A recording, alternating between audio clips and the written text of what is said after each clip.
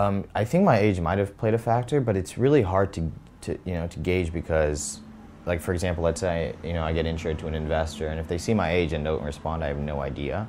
But I think in, in general, it was it probably didn't matter either way. I think the great thing about investors are that is that they're just so financially motivated, right? They get you know they're return based, right? They're they're literally their performance is a number, a single number which means that I don't think they really care about not just age but gender or race. Like they're just going to invest. I think if it's if it, if they think they're going to get a return on it, and so I hope you know they judge maybe me as an individual, maybe my experience, maybe my track record, but I don't think my age played a factor into into the equation.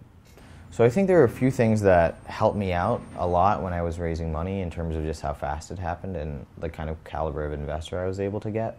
One was that I had a lot of relationships with investors before I wanted to raise money, um, just from building a lot of side projects and blogging and tweeting and all these things. Like investors will start to track you automatically if they think you're eventually going to do your own company. Um, it's kind of their job. Um, so I had enough people that were like interested that when I left my you know my previous company, it was it was pretty easy and like to, to get a lot of meetings lined up because all of these people were kind of pinging me anyways you know? Like when i tweeted out that i was doing my own thing now you know i got like 50 to 100 emails from investors that are like hey do you want to talk?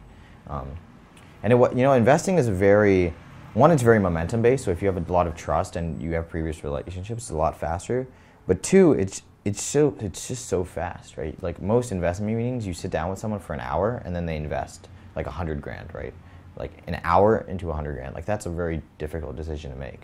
Um, but what I had, I think, was that they knew me before. They could read my blog, so they like the relationship, you know, that we that we had was a lot longer than an hour. So someone could go back and be like, okay, this kid was talking about building products really passionately a year and a half ago. You know, he's just not making this up for an hour pitch, um, and I think that helped a lot. Yeah, so for me, when I was thinking about leaving USC, right, my, my initial roadmap in terms of my career was get a degree, you know, four years, get a degree, join a, a big company or a medium sized company for, you know, work there for a year or two, then join an early stage startup, work there for a year or two, and then found my own company, right? So that was like a seven year plan before I w- wanted to start my own company. And I started getting a bunch of kind of full time job offers from startups in the Valley, and I was like, wow, I could actually potentially save five to six years of my career. Um, you know, if, if this was my path. And actually, the bigger thing is like I didn't even know if I wanted to start a company. You know, like a lot of these people, you know, they watch the social network and they're like, I want to start a company. But I was like, I don't know. I just want to build stuff.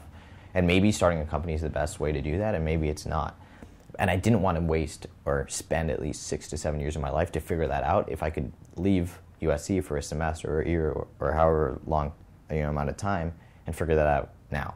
So that was that was my kind of decision was like, okay, like does it make sense for me to take at least a semester off of school to learn if, you know, you know, startups is like a fun thing to do. You know, people say it is, but I really wanted to experience it to learn if, you know, starting a company was something I could potentially do myself.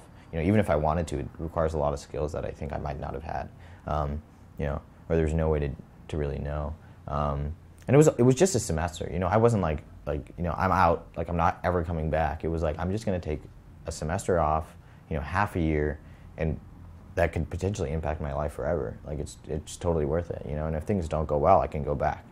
Um, so I was not. Hopefully, I wasn't like rash. You know, I didn't run to a decision. I, I took a few weeks to figure it out and make sure that I wasn't, you know, being dumb about, you know, about leaving school.